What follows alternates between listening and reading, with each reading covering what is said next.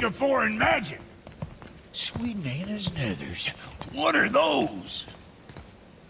I've never seen the like. That's gotta be a family heirloom. No. Nor will it ever be.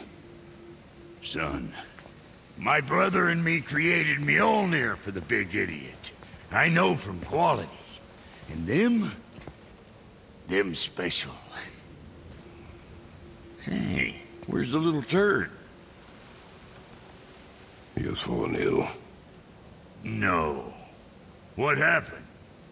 Aesir? No. The fault is mine. And my responsibility to make it right. No. We all gotta take responsibility sometime. Huh? Say, what can I do to help him? I can do things. When I should tag along? No. Your work here is enough. All right. So where are you off to in such a hurry? The realm of the dead. Helheim? Shit, this is serious.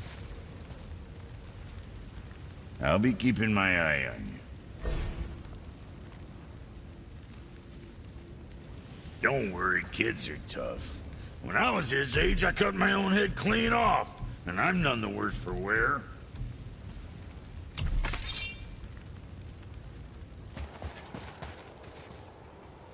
Psst. Yeah. Shh. I ain't supposed to be here. It's cold. Real quick, give me your blades. Why? Yeah, I said I'd help you, and I aim to.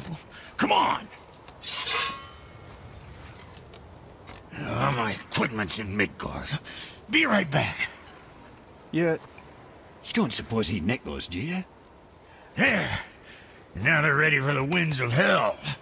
Just target this magical glowy bit here with your blades and throw.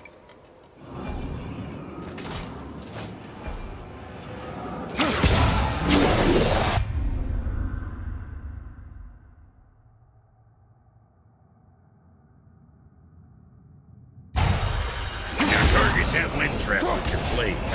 It's that little ball hanging in the middle of the door there. See it? Just let her loose. Now you can absorb and release the winds of hell whenever it damn pleases. So you're welcome and I'm leaving. This place is cold enough to freeze a pair of pigeon eggs. I sometimes wonder if there was once some sort of accident in his brain. We have been away too long.